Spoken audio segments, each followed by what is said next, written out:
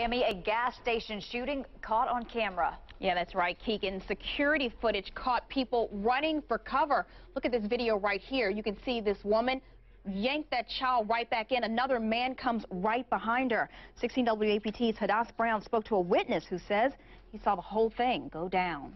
Video cameras caught people scrambling for safety. You can see about five gunshots rip through a Jackson gas station's parking lot.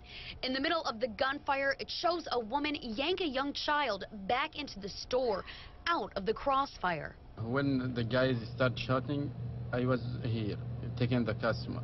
Muhammad Al-Qadi was the store clerk on duty. He says it happened fast. First, three men were talking to someone inside a white truck. Then the truck pulled off and the driver started shooting. One of those men on foot pulled out a gun too before they all ran off. Shouting each other for nothing is not good.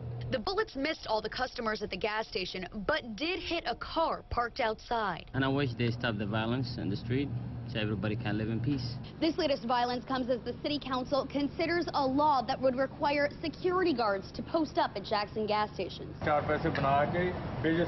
then store owners and employees fought the city council proposal. They say gas stations should not be forced to pay for additional guards. But after Tuesday night, Al-Qadi says extra protection might be a good idea. The, the guy who works at the, at the store will be safe and also the, the customer will be safe too.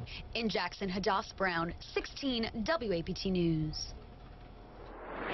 And we want to give you another look at that truck that police are looking for. If you have any information that can help investigators find the driver, call Crime Stoppers at 601 355 TIPS.